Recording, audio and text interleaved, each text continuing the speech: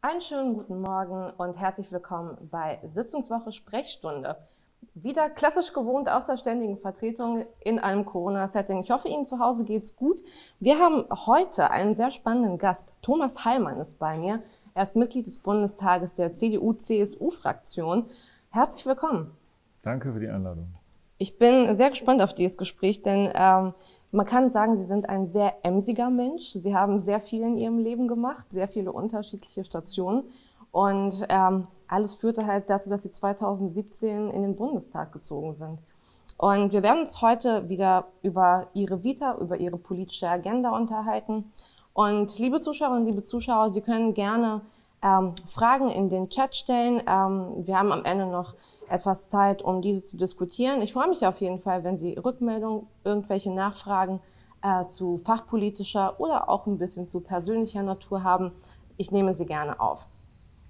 Aber Herr Heimann, fangen wir mal bei Ihrer Vita an. Sie sind 1964 in Dortmund geboren, sind dann 1980 in die CDU eingetreten, haben ähm, ein sehr gutes juristisches Staatsexamen gemacht, in Bonn studiert, äh, waren, haben Zivildienst gemacht, eine relativ, ich würde sagen, gut ich war bei der Bundeswehr. Ich ah. habe ich hab noch gedient. Sie haben noch gedient, natürlich. Das ist, für mich ist das schon wieder so alles weit weg. Aber, aber gut. Mal Wehrpflichtige. Genau, Sie sind erstmal, Sie haben ihren, ihr, Ihre Wurzeln in Dortmund, Nordrhein-Westfalen und sind mit 16 Jahren schon in die CDU eingetreten. Können Sie für mich beschreiben, was die Themen waren, die Sie politisiert haben? Was war damals ähm, das Thema oder der Umstand, der Sie für den Parteibeitritt motiviert hat? Also erstens äh, komme ich aus einem Haushalt, in dem sehr viel über Politik diskutiert wurde, äh, mit durchaus unterschiedlichen Meinungen. Ich habe fünf Geschwister und ähm, bin der fünfte von sechs äh, Kindern gewesen und bin sozusagen mit dem Thema Politik, es wurde bei uns Zeitung gelesen und das war einfach ein sehr präsentes Thema. Und das Zweite ist, die Dortmund ähm, wurde damals als die Hauptstadt der Sozialdemokratie bestanden, äh, verstanden und äh, mit 70 Prozent Ergebnissen für die SPD. Und dann nicht in die SPD einzutreten, sondern in die CDU war fast ein revolutionärer äh, Akt. Also noch viel mehr, als wenn man heute zu den Grünen ginge. Das äh, war sozusagen extrem ungewöhnlich. Und außerdem gab es in Dortmund und damals ein Oberbürgermeister hieß Samtlebe, der wurde immer Amtkleber genannt, ähm, weil er 16 Jahre im Amt blieb, obwohl er eine ganze Reihe von Skandalen, die man heute, glaube ich, alle auch nicht mehr überleben würde, politisch meine ich, ähm, hinter sich gebracht hat. Äh, insofern war es eine gewisse Protesthaltung, wenn man so will. Aber gab es da eine Persönlichkeit oder irgendetwas, was Sie aus der Zeit, dann wahrscheinlich so Ende der 70er, während Ihrer Jugend, Anfang der 80er, besonders motiviert hat? Erinnern Sie sich an etwas, an ein Ereignis, eine Persönlichkeit, die sagt so, ja, das wird nicht die SPD hier in der Herzkammer, sondern die CDU wird meine Partei? Na, ich fand die, äh, deswegen bin ich auch zur Bundeswehr gegangen, ich fand die sogenannte Flexible Response, wie man das damals nannte, zu sagen, also wir wollen selbstverständlich keinen Krieg, aber wir müssen uns auch gegen einen Angriffskrieg verteidigen. Das fand ich eigentlich immer ziemlich überzeugend. Ähm, Zumal wir ja heute, nachdem die DDR zusammengebrochen ist, wissen, dass es Angriffskriegspläne gab im Warschauer Pakt, dass das also keine, also wir haben uns nicht gegen eine Scheingefahr gewehrt, sondern wir haben uns gegen eine sehr, sehr reale Gefahr gewählt. Und das Zweite, was mich auch heute in der Union hält, die Frage ist ja erledigt, ähm, ist die Union verbindet Gegensätze und ähm, unterschiedliche Ziele, die schon einem Widerspruch stehen und vereint sie. Also die soziale Marktwirtschaft ist eben die Kombination aus sozialem Ausgleich und einer äh, freien äh, äh, Marktwirtschaft. Und damit sind beide Ziele sozusagen vereint. Wir haben äh, den Unterschied zwischen katholisch und evangelisch aufgehoben, den es heute ja faktisch gar nicht mehr gibt in der Gesellschaft, aber eine Riesenrolle gespielt hat und das, der auch ohne diesen Konflikt weiß ich nicht, ob die also wir haben 30-jährigen Krieg gehabt, aber selbst die Konflikte in der Weimarer Republik sind, glaube ich, ohne dieses Phänomen nicht erklärbar. Ähm, und so ist es eben heute, dass wir zwischen Bekämpfung des Klimawandels und Erhalt des Wohlstands äh, und einer sozialen Ordnung, weil Klimawandel ist auch eine sehr soziale Frage, ähm, ich glaube, das ist die Aufgabe der Union, diese Dinge zu fusionieren. Und deswegen bin ich überzeugtes Mitglied der CDU bis heute.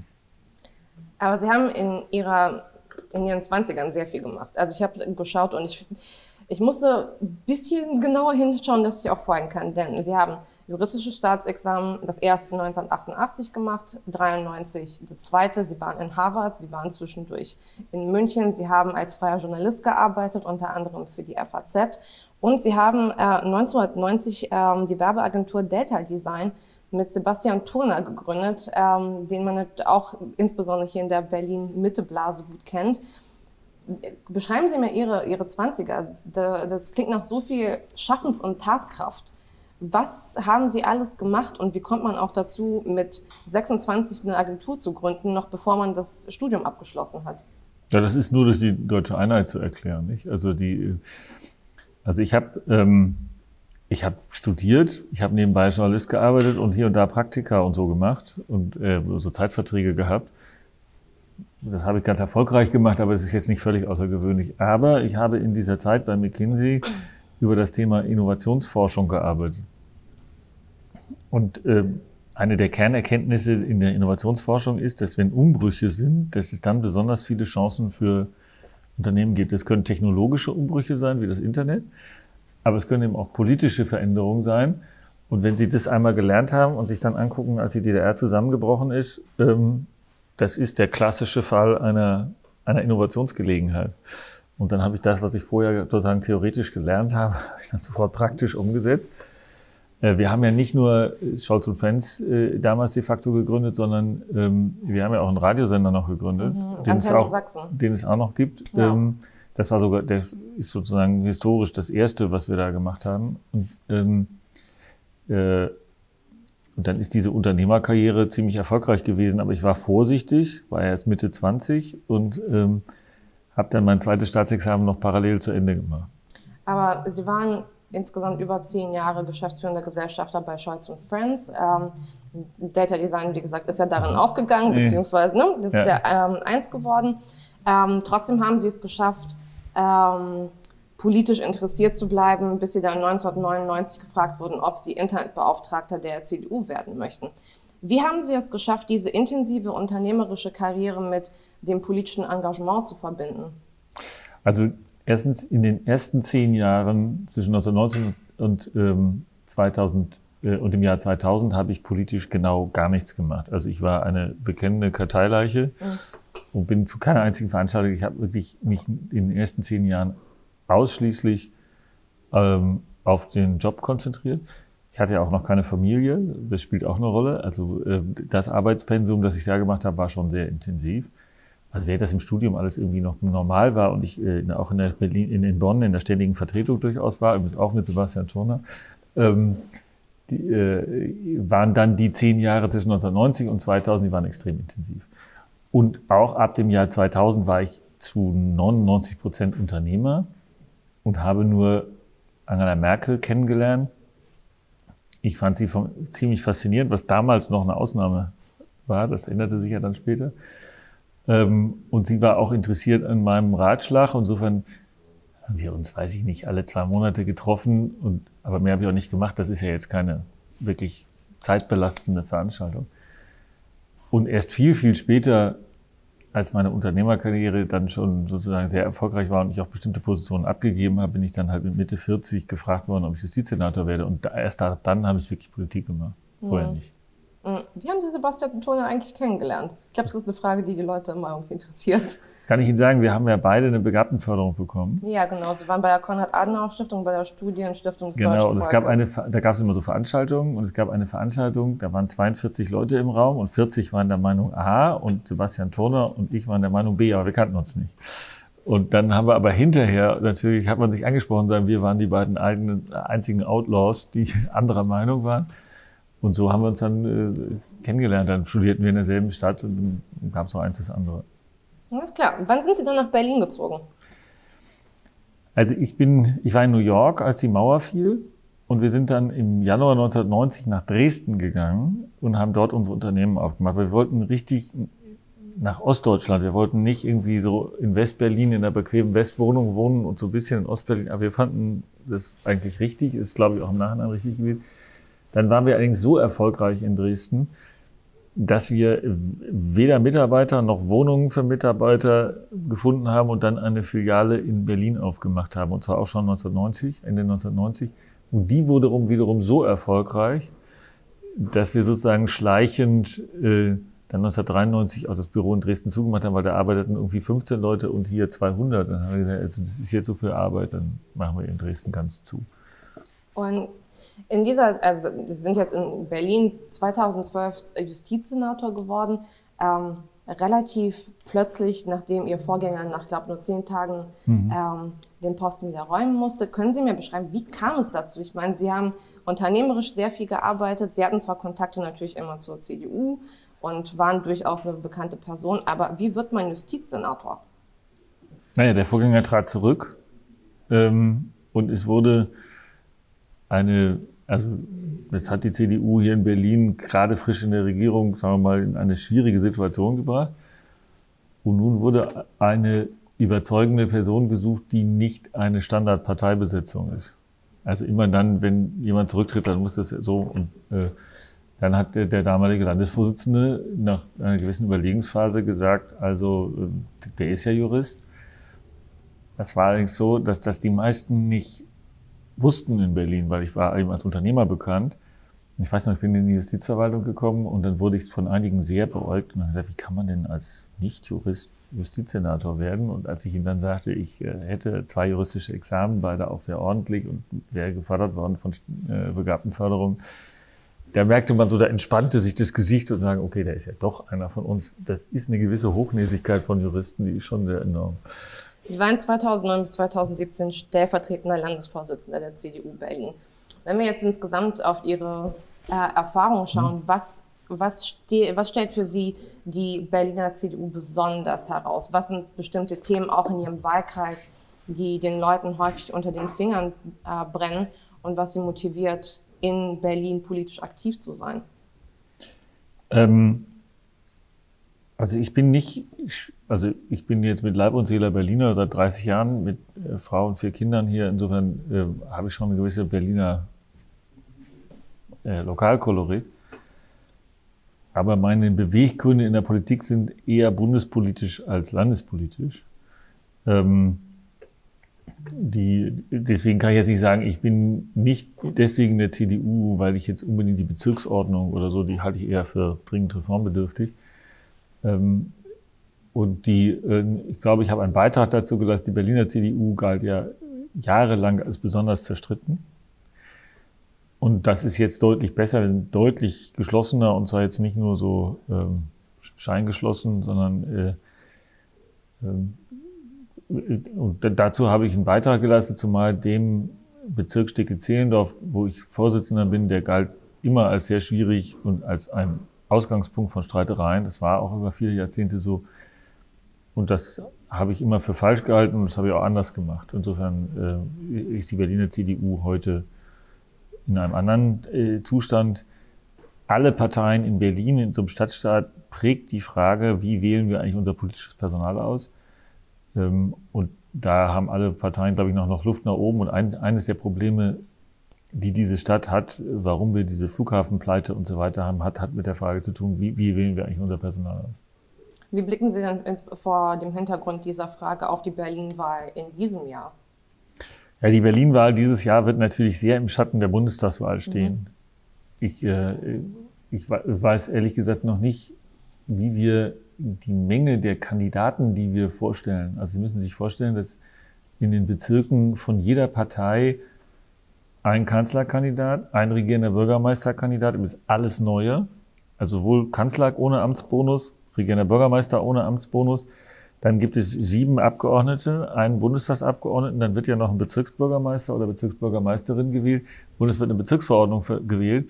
Das heißt, allein in meinem Bezirk stellt allein die CDU 15 relevante Kandidaten. So, jetzt müssen Sie mal Parteien multiplizieren ja. und die Leute bleiben ja nicht in einem Bezirk. Das heißt, die fahren von einem Bezirk in den nächsten und da kommen dann wieder neue Gesichter. Also ich bin mal gespannt, ob am Ende des Wahlkampfs äh, die Berlinerinnen und Berliner in ihrer Mehrheit überhaupt sagen können, wer kandidiert ja eigentlich für was. Ja. Das wird eine echte Herausforderung werden. Wie ist denn bei äh, Ihnen im Wahlkreis in Steglitz-Zehlendorf gegenwärtig die Stimmung mit Hinblick auf sowohl Bundestags- als auch auf die Berlin-Wahlen? Also es gibt ja leider keine bezirklichen Marktforschungsdaten. Und äh, jetzt ist die Stimmung besonders schwer einzuschätzen, weil durch den Lockdown man ja auch weniger Begegnungen hat Und wenn dann über Video und Video mhm. ist konzentrierte Dinge doch sehr auf sachliche. Ähm, ich glaube, dass, ähm, dass wir in unserem Bezirk sehr stark über die U-Bahn-Frage reden wollen, weil nur die CDU möchte das U-Bahn-Netz äh, sowohl was die U9 Richtung Langwitz äh, erbaut, da sind wir auch die einzige Partei, obwohl diese Strecke nach BVG-Aussichten die meist ausgelastete neue Strecke wäre, wenn wir sie denn bauen würden. Wir würden dann die Charité, also das Benjamin Franklin Krankenhaus anschließen und würden in ein sehr dicht besiedeltes Gebiet, das überhaupt keine Anbindung äh, an das Schnellbahnsystem hat, ähm, erschließen. Äh, es gibt deswegen eigentlich seit 60, 70 Jahren dazu eine Planung, eine Grundplanung, die aber nie weiterverfolgt wurde. Wir wollen den Anschluss der U3 erst zum Mexikoplatz und dann nach Düppel. Und ich glaube, dass wir da eigentlich eine Mehrheit hinter uns haben im Bezirk. Ich glaube, eine Mehrheit des Bezirkes sieht das so wie wir. Wie hat sich denn bei Ihnen die ähm, Parteiarbeit tatsächlich in dem letzten Jahr geändert durch Corona? Sie haben gerade gesagt, so Videokonferenzen.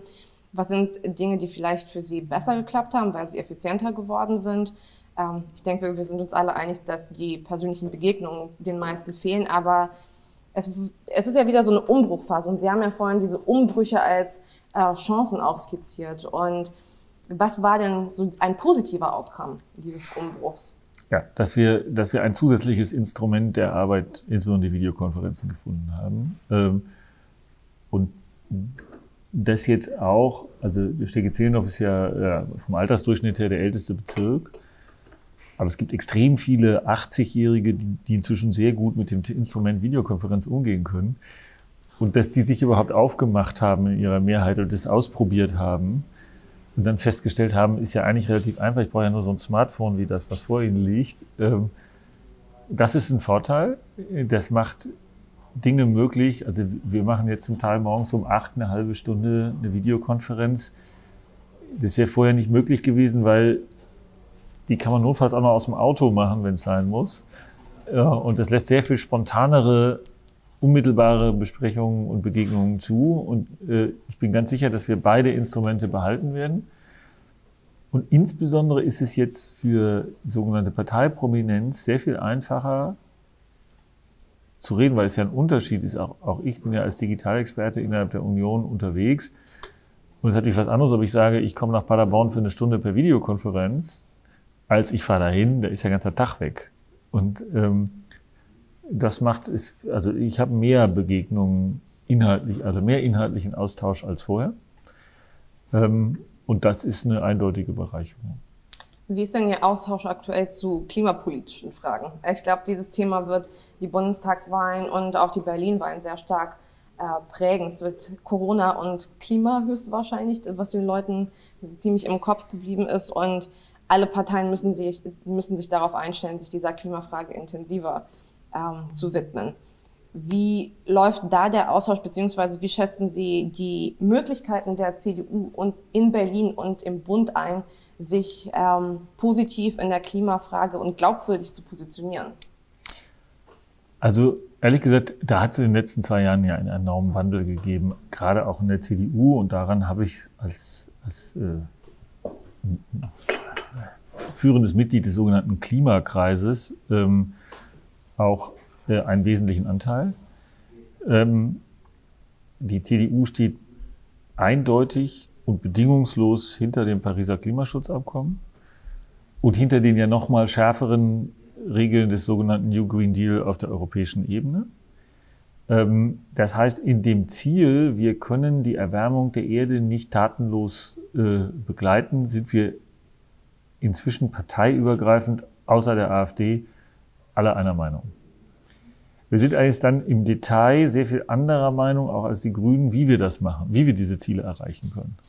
Und ähm, ich glaube, dass die Bürger sehr stark registriert haben, okay, das sind jetzt eigentlich alle relevanten Parteien dieser Meinung. Und für die Unterschiede in dem Wie interessieren sich schon weniger Leute als für das Ob. Was der wesentliche Unterschied äh, für das Wie, auch wir wollen die sogenannte grüne Null erreichen, ähm, aber wir wollen das eben in einer Weise machen, dass wir sagen, es geht vor allen Dingen um Innovationen, es geht vor allen Dingen darum, technische Mittel. Wir wollen eben nicht den Individualverkehr abschaffen, ähm, auch nicht ein bisschen abschaffen, sondern wir wollen ihn klimaneutral hinkriegen. Und wir glauben, das geht. Und ähm, da gibt es fast zehn, zwölf relevante Technologien, die da alle im Wettstreit sind. Und wir wollen sie im Wettstreit lassen, weil man das nämlich nicht so genau weiß, welche davon sich dann am Ende wirklich durchsetzen wird. Da kann man sich auf eine Menge Überraschungen auch noch äh, gefasst machen. Und wenn wir das mit neuer Technologie machen, hat es zudem auch noch einen Vorteil, dass das Geschäftsmodell Deutschland, nämlich wir sind Hersteller von solchen innovativen Technologien, ähm, nochmal einen Schub bekommt. Denn äh, wenn wir die Verbrennungsmotoren herkömmlicher Klasse nicht mehr wollen, und das wollen wir nicht, dann muss ja irgendwas anderes dafür her, wenn wir nicht sagen, die sollen alle arbeitslos werden. Und ob wir diese Transformation ökonomisch und damit auch sozial, also ich meine, ich persönlich, Sie haben ja beschrieben, dass ich relativ erfolgreich Unternehmen gegründet habe. Also mich persönlich trifft es nicht, wenn wir die Transformation nicht hinkriegen, ja, oder jedenfalls nur sehr aus, wenig ausgeprägt. Aber es wird eine herausragend soziale Frage, ob Deutschland ein führendes Industrieland bleibt oder nicht. Und ähm, wir haben andere Vorstellungen als zum Beispiel als die Grünen namentlich, wie man das erreichen kann. Aber ich glaube, mit dieser Position sind wir ähm, äh, sind wir sehr wettbewerbsfähig. Im Gegenteil, wir haben einen enormen Vorteil. Die Union heißt ja Union, weil sie historisch immer mehrere Ziele vereint hat. Ja, ja. Also wir haben die soziale Frage nach dem Zweiten Weltkrieg gelöst, die ja extrem hoch war. Äh, wir haben die Wiederaufbaufrage gelöst, wir haben die äh, Frage des wirtschaftlichen Aufschwungs gelöst und wir haben das miteinander kombinieren können. Und so wollen wir eben jetzt auch die Ziele miteinander kombinieren oder um im Marketingdeutsch zu sagen, äh, bei uns kriegt man ein All-Inclusive-Angebot, da kriegt man also Klimaschutz und wirtschaftliche Fragen und soziale Fragen. Ähm, und ähm, wer jetzt nur sagt, mir ist alles andere egal, ähm, der ist vielleicht bei den Grünen richtiger, aber ähm, ich halte das nicht für richtig, weil äh, wenn wir das Klima gerettet haben, ähm, aber sonst geht hier alles den Bach runter, dann ist es auch kein lebenswertes Leben. Will gleich zu der fachpolitischen Agenda übergehen, weil Sie sind sowohl ähm, im Ausschuss für Arbeit und Soziales als auch in digitale Agenda drin.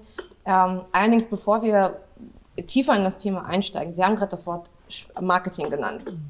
Da würde mich Ihre Meinung ähm, interessieren, inwiefern Sie glauben, dass die Außenwirkung der CDU gelitten hat unter solchen Videos wie Rezos, die Zerstörung der CDU, das hat sehr viral gegangen ist und insbesondere jüngere Wählerschichten erreicht hat.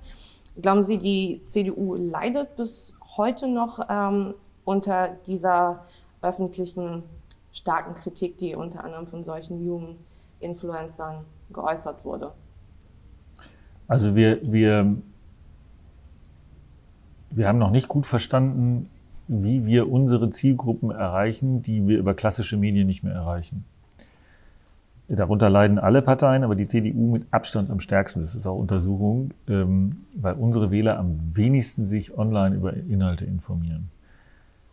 Während das Riso-Video, also das hat uns punktuell natürlich äh, bei der Europawahl sehr geschadet, aber also so lange hält jetzt so ein einzelnes Ereignis äh, nicht an. Ähm, und ehrlich gesagt, Teile dessen, was Riso angegriffen hat, da waren wir ja gerade im, sowieso im Begriff, unsere Position zu ändern. Also ich habe, interessanterweise ist Herr Nüsslein, der ja jetzt aus mhm. anderen Gründen schlechte Schlagzeilen macht, war sozusagen der Hauptvertreter in der CDU-CSU-Fraktion, der gegen die CO2-Bepreisung war. Und dieser Konflikt ist aber ein halbes Jahr vorher schon in der Fraktion aufgetreten. Und wir haben ihn dann im Laufe des Jahres 2019 klar entschieden, und zwar sowohl die CDU-Fraktion wie die Partei, dass wir, wie, ich das formuliere, die grüne Null wollen. Und die Position Nüsslein hat sich nicht durchgesetzt. Und eigentlich hat der Riso die Position Nüsslein angegriffen. Mhm. Aber wir haben sie nicht wegen Riso geändert. Das war sowieso sozusagen, die Debatte lief längst.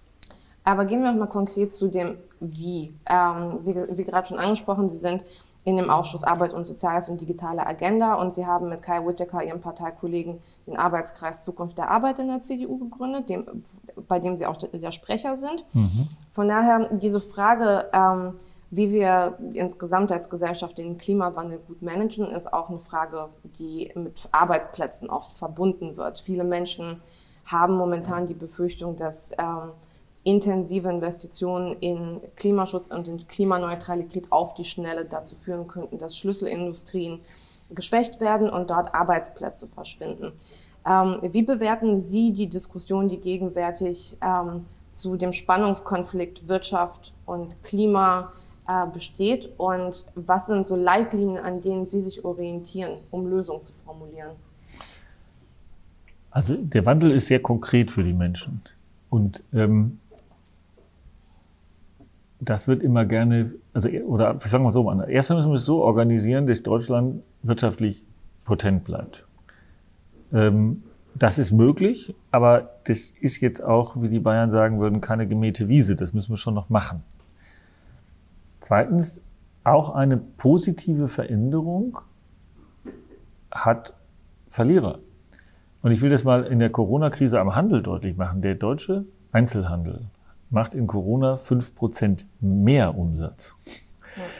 Aber das macht der Lebensmittelhandel, das macht der Onlinehandel. Aber es gibt eben sehr viele Händler, die machen 70 Prozent weniger Umsatz. Und die Verkäuferin, die bei dem Händler arbeitet, die hat nichts davon, dass wir insgesamt mehr Handel haben. Und so ist das beim Klimawandel natürlich auch. Und deswegen, wenn wir bestimmte Industrien zumachen, ähm, dann äh, ist es nicht automatisch, dass dieselben Leute davon profitieren, dass etwas anderes aufmacht. Und das ist eine sehr große sozialpolitische Aufgabe. Und die darf man im Klimawandel eben nicht vergessen. Und wir sagen, wir meinen A, dass, dass, dass wir die Leute auch nicht einfach mit Geld ruhig stellen können. Das haben wir zum Teil bei, in, der, in der Wandel der DDR gemacht, also der DDR-Industrie. Wir haben die Leute ja nicht finanziell ins Bodenlose fallen lassen, aber wir haben ihnen mit, mit 55 gesagt, jetzt geh du mal in Vorruhestand, dich brauchen wir nicht mehr. Und, äh, das ist auch eine der Begründungen, warum wir heute die AfD in Ostdeutschland so stark haben. Und so dürfen wir das beim Klimawandel nicht machen, zumal das nochmal viel größer ist als, der, als die 16 Millionen, die, wir, die in der DDR betroffen waren. Das können wir jetzt auch finanziell schlicht nicht leisten. Also die, ähm, wir müssen zwei Dinge machen. Wir müssen überhaupt dafür sorgen, dass es überhaupt zusätzliche Arbeitsplätze gibt, für die, die wegfallen. Und dann müssen wir die Transformation noch nehmen. Und die Transformation ist eine große sozialpolitische Aufgabe. Äh, Sie haben ja gesagt, hier Zukunft der Arbeit. Und das wird nur mit neuen Weiterbildungskonzepten geben. Was mir große Sorge macht, ist, dass der Chef der Bundesagentur für Arbeit gestern über uns nochmal gesagt hat, dass, obwohl es rechtlich möglich ist, die Kurzarbeitenden sich nicht weiterbilden, obwohl sie es dürften und obwohl der Staat es bezahlen würde. Das heißt, ich arbeite kurz, weil mein Betrieb eben leider äh, äh, Corona-bedingt momentan wenig Arbeit hat. Dann dürfte ich, Klammer auf kostenlos, ähm, Weiterbildung machen. Ähm, aber es wird in sehr geringem Umfang genutzt. Es ist die Frage, wissen das die Leute nicht oder warum machen sie es nicht? Also daran sieht man, das funktioniert nicht alles von alleine. Was müsste denn passieren, damit ähm, auch das Stichwort lebenslanges Lernen funktioniert? Denn ähm, ich glaube, die Experten sind sich alle einig, dass nicht nur Klimawandel, sondern insbesondere Digitalisierung und Automatisierung dazu beitragen werden, dass bestimmte Tätigkeitsfelder, bestimmte Aufgaben in absehbarer Zeit ersetzt werden können. Es wird ja immer von dem Substitutionspotenzial gesprochen. Äh, was müsste Ihrer Auffassung denn geschehen, dass das Bewusstsein für Weiterbildung, Fortbildung und lebenslanges Lernen ähm, erstmal stärker entsteht und Angebote auch wirklich wahrgenommen werden? Ich glaube, das Wichtigste ist, dass wir die Menschen von dieser Weiterbildungschance begeistern. Wir dürfen ihnen nicht vormachen, du gehst wieder zurück auf die Schulbank. 50 Prozent der Leute sind sehr gerne in die Schule gegangen und finden die Idee, dass sie jetzt nochmal lernen dürfen, positiv. Äh, aber 50 Prozent der Bevölkerung sagt auch, ich bin, wenn ich eins froh bin, dass ich nicht nochmal in meinem Leben auf die Schulbank muss.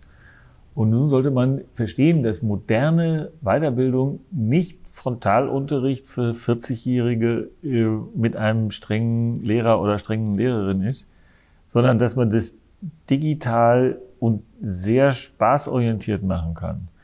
Ähm, und deswegen ist schon Begriff, der Begriff lebenslanges Lernen, der hört sich ja wie lebenslange Haft an. Und äh, damit geht schon los. Ja? Sie müssen auch nicht zwei Jahre mit einem Abschluss und Prüfungsangst und all diesen Dingen äh, die Leute erschrecken. Das ist auch gar nicht nötig. Ähm, wenn, wenn Sie sich mal ansehen, äh, das Thema Videokonferenzen, wie viele Leute das vor Corona gemacht haben und wie viele Leute es heute machen.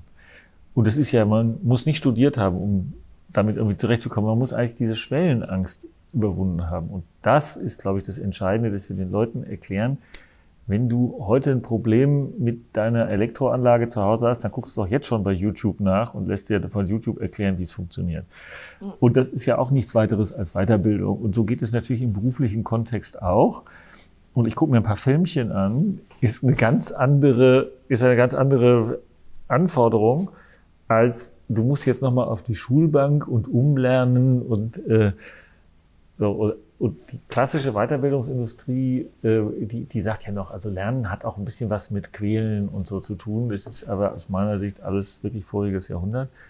Ähm, und wir, ich denke, wir müssen die Leute positiv incentivieren, das zu machen. Und wenn sie erstmal verstanden haben, dass das Spaß macht, dass ihnen das hilft, dass sie hinterher mehr verdienen, dann haben wir eigentlich eine Menge positive Geschichten zu erzählen, warum das eigentlich gut für die Menschen ist und wir auch in der Dezentralität und Individualität, Leute haben unterschiedliche Stärken, unterschiedliche Geschichten, deswegen können wir die auch nicht alle in einen Einheitskurs packen, das ist als Quatsch, ja, sondern äh, wenn Sie Weiterbildung machen, es wird das einen anderen Inhalt haben, als wenn ich das mache. Und das geht ja in der Digitalisierung auch sehr schön. Und äh, ich glaube, da liegt äh, die, die Kernaufgabe.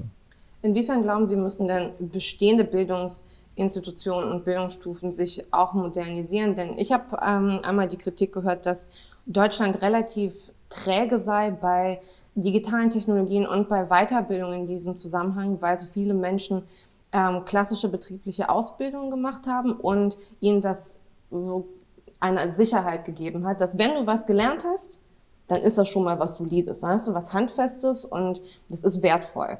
Warum sollte ich dann quasi weiterarbeiten? Wie, inwiefern sehen Sie denn, dass ein Bedarf besteht, bisherige Bildungs- Konzepte auch neu zu denken. Äh, absolut. Muss man sagen, die Menschen sind, glaube ich, weiter als unsere Diskussion. 50 Prozent der heute 35-Jährigen arbeiten nicht in dem Beruf, in dem, für den sie ausgebildet mhm. sind. Ja, das heißt, die haben längst die Flexibilität. Und jeder kennt von uns Leute, die ganz woanders arbeiten als das, wo, wo sie mal ausgebildet worden sind. Die, Aus, die Erstausbildung hat aber trotzdem einen Wert an sich, weil die Frage, schaffe ich es, ein bestimmtes Thema mir zu erarbeiten und darin meine Fertigkeiten und Fähigkeiten zu haben, das ist ein Wert an sich, weil ich muss mir nämlich später das auch wieder erarbeiten.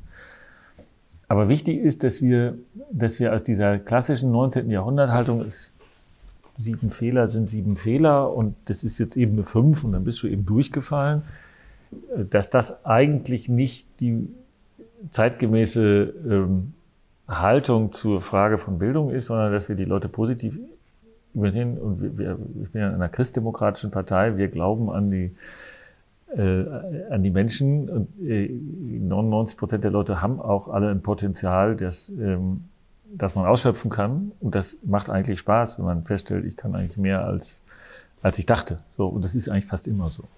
Aber um betriebliche Weiterbildung anzubieten, ähm, da sind die Unternehmen auch gefragt. Also ein großer Teil von den Fort- und Weiterbildungsmöglichkeiten wird von Unternehmen bezahlt und die müssen natürlich auch stärker ins Boot mitgenommen werden, wenn tatsächlich Millionen von Menschen sukzessiv äh, gebildet werden beziehungsweise neue Kompetenzen sich aneignen, die sie wettbewerbsfähig machen im Unternehmen und insgesamt auf dem Arbeitsmarkt.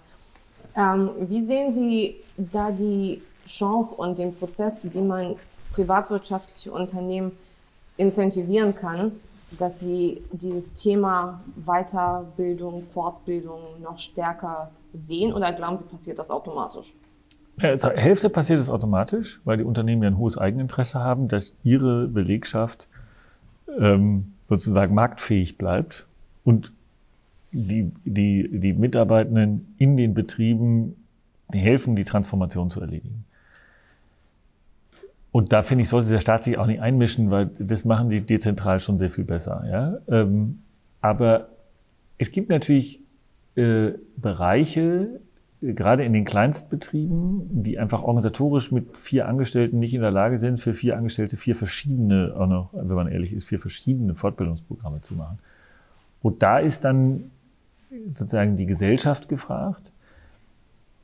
Und das Allerwichtigste ist das Thema Psychologie der einzelnen Mitarbeiterin in, einem, in einer Arztpraxis, die da Sprechstundenhilfe ist, deren Job sich über digitale Instrumente stark verändert, der müssen wir sagen, pass auf, das ist doch dein Vorteil. Es wird hinterher einfacher, es macht mehr Spaß. Ähm, und wenn wir diese Eigeninitiative wecken Und wir haben eine Menge Förderprogramme. Also da kann ich mir immer noch ein bisschen mehr vorstellen. Aber im Kern ist es für jeden heute möglich, für jeden, auch für jeden Geldbeutel, und zwar ohne zu sagen, ich nehme jetzt irgendwas vor. Ja, also wir wollen nicht aus dem unsportlichen Marathonläufer zu machen. Das ist A, nicht realistisch äh, und schafft nur Hürden und ist auch gar nicht nötig. Aber wir würden sozusagen aus dem Unsportlichen sagen, irgendwie so ein paar Yoga-Übungen in der Woche ist doch irgendwie erreichbar. Und wenn du einmal diese Schwelle gemacht hast, äh, sagen ja auch alle, die mit Sport angefangen haben, ähm, dann tut dir das gut. Und dann hast du auch ein Erfolgserlebnis. Und äh, ich glaube, da liegt die eigentliche psychologische Aufgabe. Aber nichtsdestotrotz gibt es ja ein Gefälle äh, bei den Menschen, die Fortbildungs- und Weiterbildungsangebote in Anspruch nehmen. Es gab eine Studie vom Institut für Arbeitsmarkt und Berufsforschung, die gezeigt hat, dass insbesondere Menschen aus dem niedrig qualifizierten mhm. Sektor, die besonders bedroht sind von Digitalisierung, beziehungsweise deren Arbeitsplätze von Digitalisierung besonders bedroht sind, merklich weniger Fortbildung und Weiterbildung in Anspruch nehmen und wenn sie das tun, auch kürzer als Menschen, die äh, höher qualifiziert sind. Ähm, in, inwiefern müsste für diesen spezifischen Fall der Staat vielleicht ein Unterstützungsangebot entwickeln? Oder gibt es Instrumente, die Ihnen vorschweben? Die gibt es schon. Die gibt es schon. Und ehrlich gesagt ist das eine nicht ganz präzise Wiedergabe dessen, was die IAB sagt. Und der Unterschied ist sehr wichtig. Die Aushilfstätigkeiten werden durch die Digitalisierung weniger betroffen sein als die administrativen Tätigkeiten. Also die Automatisierung findet in der Administration statt.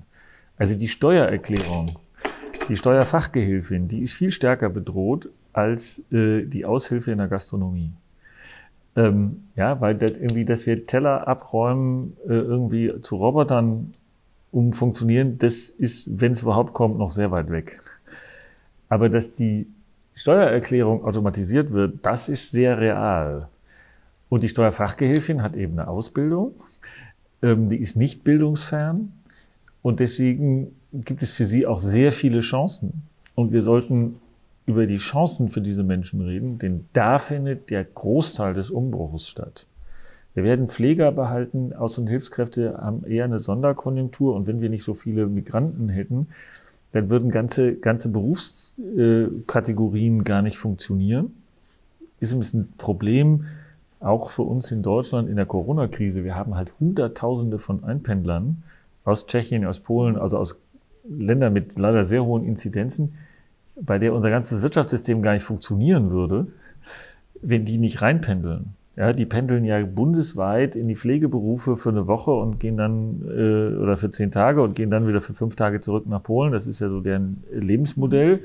Ähm, und ähm, also deswegen mache ich mir um die wirklich Ungelernten weniger Sorgen als um die in der Administration tätigen. Und da findet der eigentliche Wechsel statt. Ähm, aber die, also da, da, halte ich auch den Wechsel für möglich. Ja, ich glaube, wir sollten die Leute nicht unterschätzen, wir sollten ihnen aber helfen.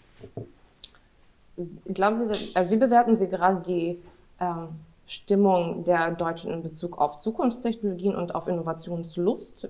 Das, da finde find ich ganz spannend bei Ihnen. Sie sind in der, ähm, im Ausschuss Digitale Agenda aktiv, haben selber ähm, so viel unternehmerische Erfahrung und wir sind gerade, wie gesagt, wieder in so einem Innovationspunkt mit der Krise. Neue Technologien kommen auf uns zu und da braucht es auch so ein bisschen Lust darauf. Was ist so Ihre Erfahrung, sowohl politisch als auch in den Gesprächen, die Sie ähm, mit Bürgerinnen und Bürgern geführt haben in den letzten Jahren, wie Deutschland auf digitale Innovationspolitik äh, blickt und glauben Sie, Deutschland hat Lust auf digitalen Fortschritt, auf neue Technologien? Oder ist da immer ein bisschen Angst noch vorhanden? Also es gibt ja nicht Deutschland, sondern es gibt nur 80 Millionen Deutsche. 80, und dann, 83 Millionen ja, 83 Deutsche. Millionen Deutsche. Und das wird ja schon sehr unterschiedlich gesehen. Aber in allem Mist, der mit Corona verbunden ist, gibt es natürlich auch eine Chance da drin. Ich glaube, die, die Tatsache, dass wir technologisch neue Antworten finden müssen, dieses Bewusstsein ist sehr viel stärker gewachsen und deswegen auch die Bereitschaft, sich darauf einzulassen. Ähm, es gab im Spiegel letzte Woche einen wunderbaren Artikel, der erzählte, dass das Osmanische Reich schon 200 Jahre vor den Briten die Dampfmaschine erfunden hat, aber ein so bequemes reich, weil sie sagten, was brauchen wir doch alles nicht, funktioniert doch und was brauchen wir nicht. Und äh, kurz und klein, sie haben es nicht weiterentwickelt und nicht genutzt, mit dem Ergebnis, dass das Osmanische Reich untergegangen ist. Und ähm, wenn wir uns auf diese neuen Technologien nicht einlassen, dann wird Deutschland irgendwann untergehen. Das muss man auch mal so hart sagen. Jedenfalls das Deutschland, das wir kennen. Und ähm, äh, insbesondere der, der, der Fall Biontech äh, in Mainz ähm, ist ja in jeder Hinsicht erstaunlich. Die vier größten Impfhersteller der Welt, die jedes Jahr Milliarden Impfdosen hergestellt haben, haben es alle bisher nicht geschafft, eine Antwort zu finden. Und so ein kleines Start-up da in Mainz kriegt es hin, schafft auch noch den besten. Und jetzt muss man noch dazu sagen, die haben einen auf, auf einer Gen, äh, auf einer Gensequenz beruhenden neuen Impfstoff dargestellt. Jetzt stellen Sie sich mal vor, wir hätten Corona nicht und ich würde Ihnen erzählen, hören Sie mal zu, wir nehmen da so einen Stoff, da nehmen wir Teile der Gensequenz mhm. raus und die spritzen wir Ihnen und dann macht Ihr Körper den Impfstoff selber ehrlich gesagt, wir hätten gesagt, okay, das ist eine interessante Idee, wir machen mal eine Enquete-Kommission die nächsten acht Jahre und überlegen mal, was die Folgewirkungen wären. Ja, äh, typisch deutsch, aber das ist ganz besonders gründlich, weil könnte ja auch lauter Gefahren haben. Und nur weil wir Corona haben, haben wir gesagt, okay, das, die ganzen Bedenken legen wir jetzt mal an die Seite, wir machen das jetzt einfach mal und gucken. Und heute ist es so, dass der herkömmliche Impfstoff von AstraZeneca die Leute viel weniger haben wollen als den neuen, der auf einer Genschere beruht das hätte ich mir ehrlich gesagt nicht träumen lassen vor Corona, dass das die Mehrheit der Deutschen mal denkt. Ähm, die Tatsache, dass wir eine flächendeckende Breitbandverkabelung brauchen, wird, glaube ich, heute mehr gesehen denn je. Ehrlich gesagt, ich sage das schon ein paar Jahre, komme aus der Digitalwirtschaft, aber ähm, also insofern steckt da auch eine Chance und ich würde sagen, heute in Corona und auch post-Corona wird die Bereitschaft für neue Antworten höher sein, als sie vorher war und das ist erfreulich. Bevor ich noch zu meiner vorerst letzten Frage komme, weil ich schon weiß, dass äh, wir Fragen haben, liebe Zuschauerinnen und Zuschauer, Sie können gerne noch mehr Fragen ähm, an uns zukommen, würde ich jetzt ganz kurz ähm, noch mal eine quasi eine Status Quo Beschreibung äh, von Ihnen haben. Was ist gerade so der brennende Punkt in dem Ausschuss Digitale Agenda, der Ihnen am meisten am Herzen liegt, wo Sie momentan mit am meisten Herzblut für kämpfen? Äh, ich kämpfe am meisten mit Herzblut äh, zum Thema Datenschutz. Ähm, ich finde die Gefahr, dass wir zu viele Daten von Menschen erheben und sie dann profilieren, das ist eine sehr reale und mit der müssen wir umgehen. Aber dass wir in Corona so wenig Daten sammeln, finde ich skandalös. Ich finde, wir, wir, wir, packen die Leute in Lockdown, aber wir sind, wir haben beim Datenschutz noch keine einzige Regel aufgehoben. Mhm. Ähm, also ich persönlich würde den Leuten lieber mehr Freiheiten geben und sagen, beim Datenschutz sehen wir das bei dem Thema jetzt mal anders und erheben sehr viel mehr Daten. Wir wissen doch immer noch nicht genau, wie funktioniert eigentlich Ansteckung im Supermarkt? Wie viele Verkäuferinnen stecken sich wirklich an? Ähm, und das wissen wir nicht, weil wir alle diese Daten nicht erheben. Und ich meine, dass wir da eine echte Datenerhebungsoffensive, also eine richtige Datensammlungswut schaffen sollten weil Sie können nämlich bei den Daten nicht vorher wissen, welche Erkenntnisse rauskommen. Also wir denken beim Datenschutz, wenn, wenn, wenn du deine Einwilligung gegeben hast, die wir dir auch noch in 17 Formularen, die man nicht versteht, äh, äh, vorhalten. Und ich dir genau sagen kann, was ich mit den Daten eigentlich erforschen will, dann darf ich die Daten erheben. Mhm. Aber so fängt Wissenschaft nicht an. Wissenschaft fängt an, ich erhebe lauter Daten, stelle Hypothesen an und gucke, ob ich sie in den Daten wiederfinde oder nicht. Wenn ich Daten aber nicht habe, kann ich, kann ich sozusagen nicht mit Hypothesen arbeiten. Da werden Dinge rauskommen, die wir nicht erwartet haben. So wie wir nicht erwartet haben, dass BioNTech das erfolgreichste Produkt macht. Also stellen Sie sich mal vor, wir würden das so machen, wie wir das sonst machen. Nämlich wir sagen also, wir brauchen einen Impfstoff, jetzt schreiben wir das aus und das bestqualifizierte Unternehmen. Hätten wir dann ein neues Unternehmen mit wenigen Mitarbeitern in Mainz genommen, die noch nie einen Impfstoff gemacht hatten? Oder hätten wir gesagt, Sanofi, GSK, Bayer und alle die, die schon immer Milliarden von Impfstoffen verschiedenen gebaut hätten, wir hätten dann immer gesagt, naja, das geben wir mal denen, die das schon immer gekonnt haben. Und das Ergebnis ist, wir hätten heute immer noch keinen Impfstoff. Deswegen, man kann nicht glauben, dass man alles vorher weiß. Und deswegen brauchen wir, und das ist das relevante aktuelle Thema, wir brauchen eine ganz andere Datensammlung beim Thema Corona und dafür müssen wir unsere Datenschutz, wir müssen nicht mal unsere äh, Regeln ändern, wir müssen sie eigentlich nur anders anwenden. Ich gehe mal über zu den Fragen aus dem Publikum, die mir jetzt schon ähm, übergeschickt wurden. Ähm, Frau Susanne Meyer, sie Startup-Gründerin, ähm, hat bereits Fragen zu dem Bundestag, ähm, zum Wahlkampf. Und zwar, wie werden Sie circa, die circa 15 Millionen Nichtwählerinnen ähm, und 2 Millionen ErstwählerInnen bei der Bundestagswahl ansprechen und neben der Klimapolitik und Corona, welche Themen der jungen Generation werden Sie verfolgen? Also, äh, das Nichtwählerproblem ist in meinem Wahlkreis das geringste überhaupt, weil wir traditionell, das hat nichts mit mir zu tun, der Wahlkreis sind mit der niedrigsten oder mit der höchsten Wahlbeteiligung, der niedrigsten Nichtwählerbeteiligung. Äh, bei dem Thema Erstwählern kann man für sehr viel Geld Ihnen einen Brief schreiben. Ansonsten darf ich die Daten ja alle gar nicht haben. Mhm. Das heißt, es ist einfach schon technisch sehr schwierig, mit Ihnen in einen besonderen Dialog äh, zu treten. Ähm, ich glaube, dass äh, ich den Erstwählern in meinem Wahlkreis sagen kann, dass ich, glaube ich, klimapolitisch einer der profiliertesten Unionspolitiker bin, der, ja, ich habe ja auch ein Buch geschrieben, Neustart, da gibt es ein Klimakapitel, in dem ich sehr klar nochmal darlege, das und warum und wie wir das mit dem Klimawandel machen sollten. Und ich gehöre auch zu denjenigen in der äh, Bundestagsfraktion, die, was in der jungen Zielgruppe ja interessanterweise ein großes Thema ist, dass wir eine andere Drogenpolitik machen sollten. Ähm, die allerdings nicht dazu führt, äh, dass wir alles erlauben und sagen, jeder sollte doch so Drogen nehmen, wie er will, sind sie alle erwachsen. Äh, Drogen sind ein echtes Problem, insbesondere natürlich auch Alkohol. Ähm, aber wir sollten einfach feststellen, dass so, wie wir es jetzt machen, das nicht sehr erfolgreich ist. Es gibt noch eine andere Frage von Herrn Bernd Quoss. Ähm, ich hoffe, ich habe den Namen richtig ausgesprochen, von dem äh, Krankenhaus Waldfriede. Er fragt, wie Ihre Perspektive ist zur Wirtschaftslage nach Corona. Werden wir wieder an die alten Erfolge anknüpfen können oder gibt es Ihrer Auffassung nach langfristige Einbrüche, mit denen wir umgehen müssen? Ähm, seiner Auffassung nach sind die Aussagen in der Wirtschaftswelt dazu sehr unterschiedlich. Wo stehen Sie da? Also erstens heißt er Bernd Quost, grüße ihn herzlich, ich kenne ihn nämlich, weil er Leiter eines Krankenhauses in meinem Wahlkreis ist. Ähm, zweitens, äh, die Frage ist offen. Also ich glaube, dass äh, post-Corona auch ökonomisch und äh, sich große Chancen ergeben.